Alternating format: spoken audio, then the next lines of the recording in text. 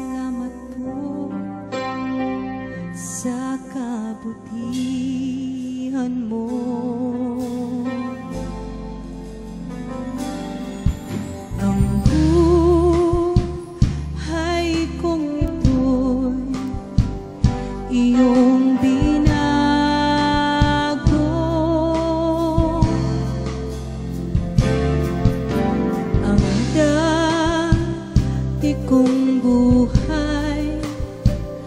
Puno ng dusa